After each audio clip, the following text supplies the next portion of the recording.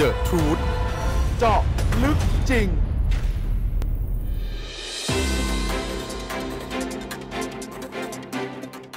กวินรุ้งนำลูกกวน บุกสอพอคลองหลวง จุงแพะห่มผ้าแดงไปป่วนเจ้าหน้าที่ตำรวจ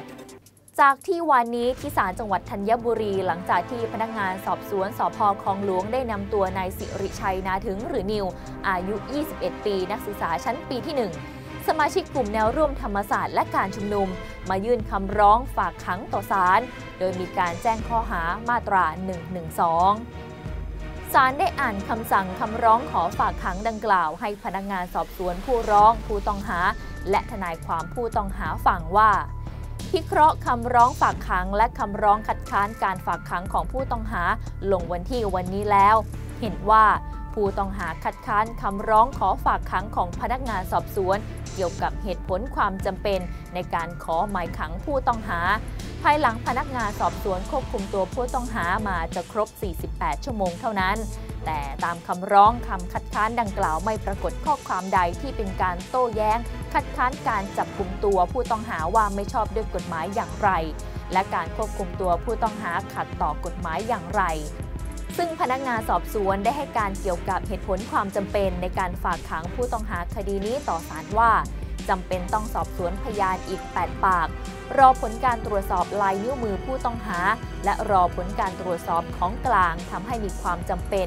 ที่จะต้องฝากขังผู้ต้องหาไว้ต่อศาลซึ่งพนักงานสอบสวนยื่นคำร้องขอฝากขังตามหน้าที่ตามกฎหมาย เป็นการดำเนินการตามประมวลกฎหมายวิธีพิจารณาความอาญา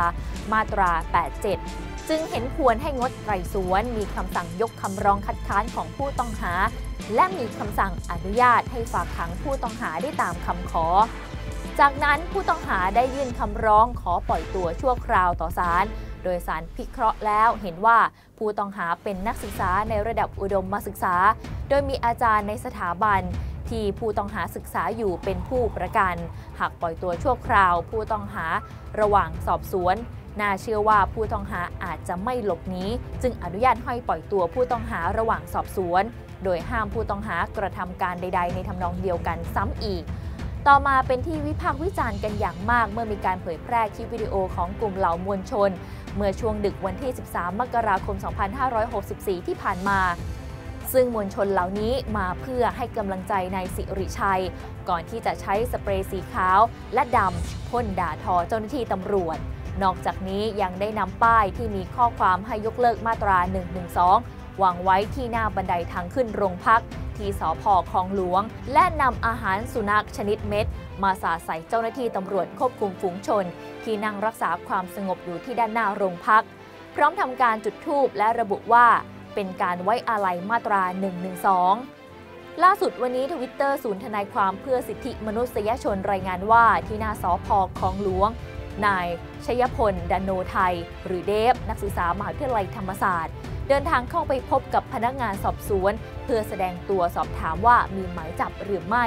หากมีหมายจับเขาก็พร้อมที่จะเข้าสู่กระบวนการทางกฎหมาย ขณะที่ทางด้านผู้กำกับสพคลองหลวง แจ้งกับทนายความและสื่อมวลชนว่า ปัจจุบัน นายชยพลยังไม่มีหมายเรียกหรือหมายจับแต่อย่างใด